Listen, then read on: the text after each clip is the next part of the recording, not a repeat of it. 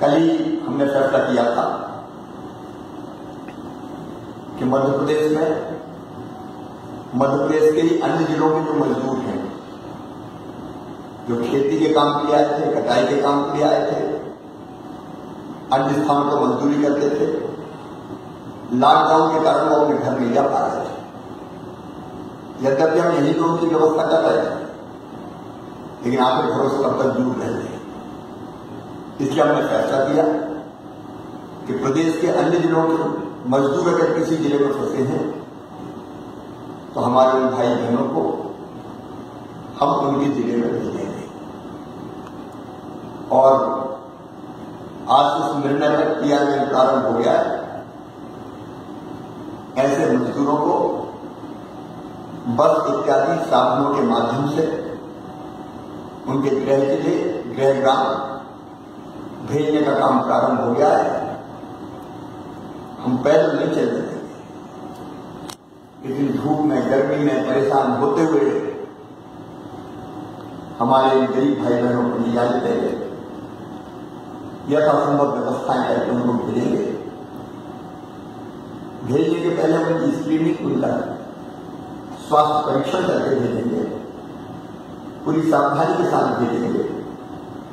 और वो अब अपने घरों में, अपने गाँव पहुँच पाएँगे ऐसे लगभग आठ हज़ार मजदूरों को हमने अलग अलग हिस्सों से रवाना किया है और लगातार ये क्रम जारी रहेगा।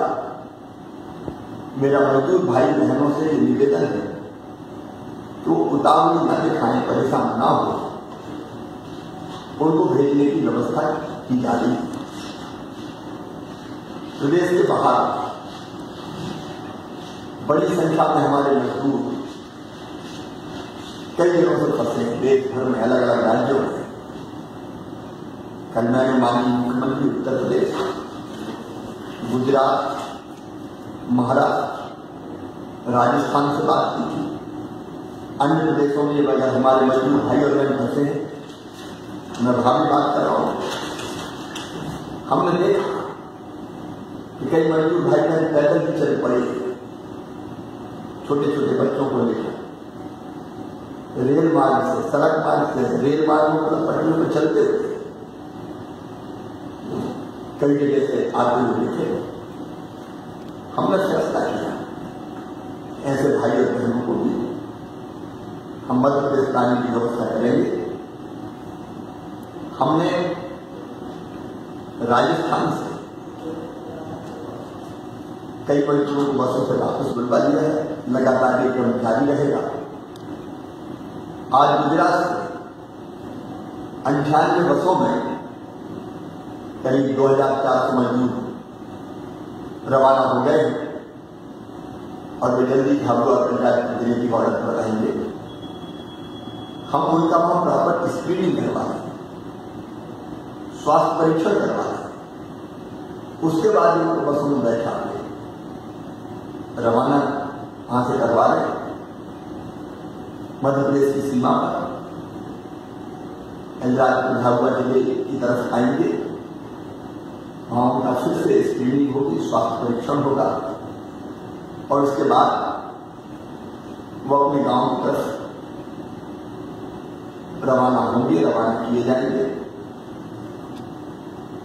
मेरा सभी ग्रामवासियों से भी निवेदन है अपने भाई बहन परेशान कर आ रहे हम स्वास्थ्य परीक्षण करके उनको गाँव ला रहे हैं। और वहाँ उनको होम क्वारंटाइन में रखने की ज़रूरत है तो हम भी उनको रखेंगे।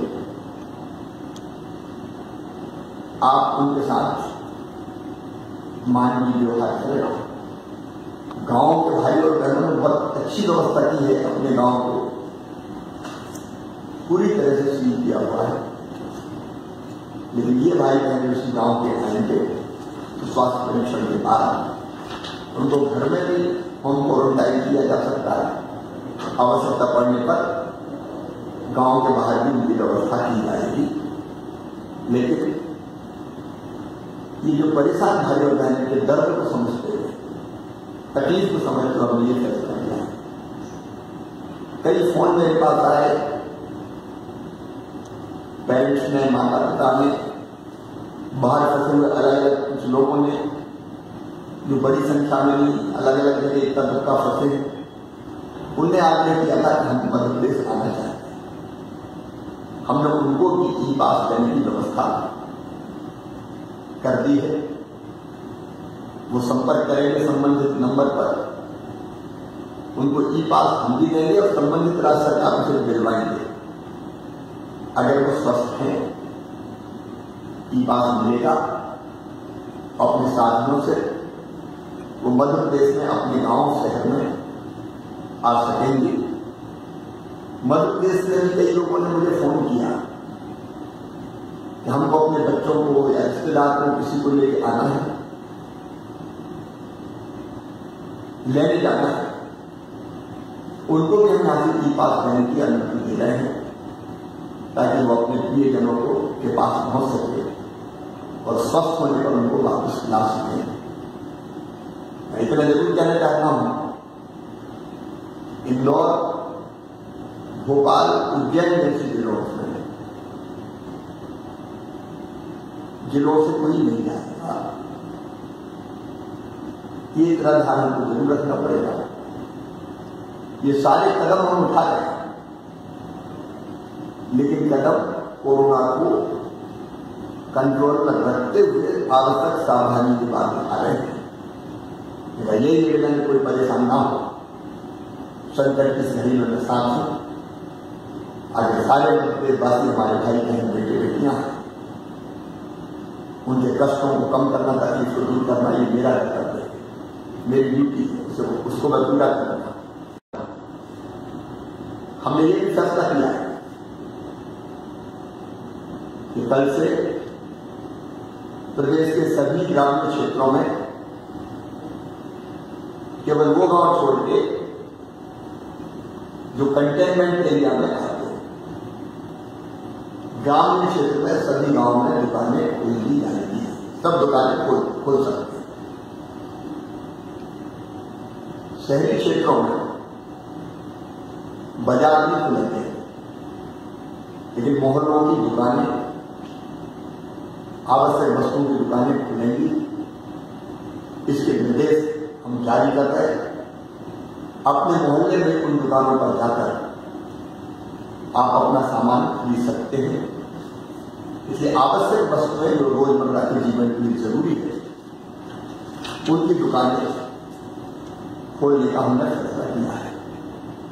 मोहल्लों में बाज़ार वगैरह नहीं खुलेंगे लेकिन माल सिनेमा घर, gym, hotel, restaurant, swimming pool, beauty parlour जैसी दुकानें नहीं खुलेंगी।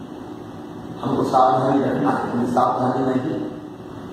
सुरक्षा है। इंदौर, भोपाल, उज्जैन, जबलपुर धार खरगोन में। हम दुकानें खोलने का फैसला नहीं कर रहे मोहल्लों में भी।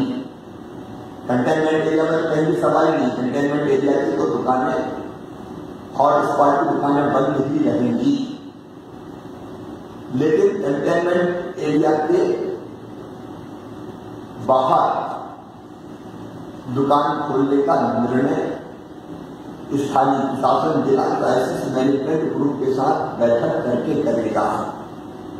परिस्थितियों के अनुसार उनको फैसला करना मैं फिर दोहराता हूँ हॉटस्पॉट में दुकानें निकलेगी कंटेनमेंट एरिया में निकलेगी इंदौर, भोपाल के भारत जबलपुर खरगोन उन नगरों में भी दुकानें नहीं खुलेंगी कंटेनमेंट एरिया के बाहर जिला प्रशासन और क्राइसिस मैनेजमेंट ग्रुप बहुत सोच समझ कर फैसला करेगा। ये व्यवस्थाएँ हमने बनाई है उसके निर्देश मिल जाएँगे।